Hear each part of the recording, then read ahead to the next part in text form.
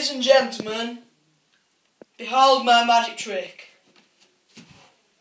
I shall make this pen disappear before your very eyeballs. Do not faint, because it's magical.